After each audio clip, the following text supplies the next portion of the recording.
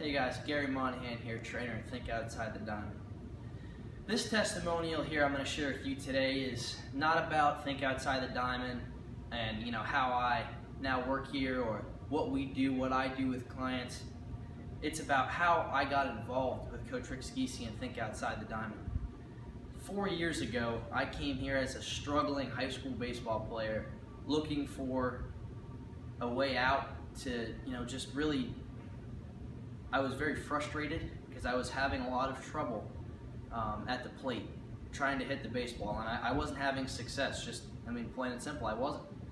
So a friend introduced me to Coach Rick Saggese, and really from there on in, you know, I, I started my first training session with him. I really liked his whole approach to coaching and teaching. You know, it's anyone can just put a ball on a tee and say, oh, you dipped your back shoulder or you're pulling your head out.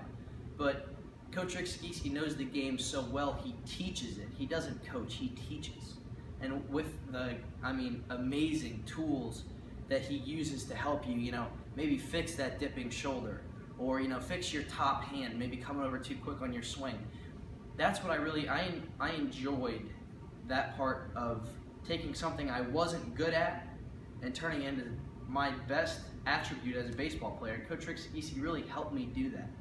I mean, if I were to give anybody the credit for my success, it would be him. And one of the biggest things he taught me was just to relax. I mean, I'm a relaxed guy in general, but you know, not to get so nervous up at the plate, to be confident in my abilities, and just to go out there and play the game. Because at the end of the day, it's a game and it's about having fun. And if you're not having fun, then you shouldn't be playing. And that's one of his biggest things he teaches is have fun, and he teaches the process, the process of getting in the box or you know getting on the stage or whatever you're doing. He just doesn't teach the baseball. He teaches to the process of believing in yourself, having confidence in yourself.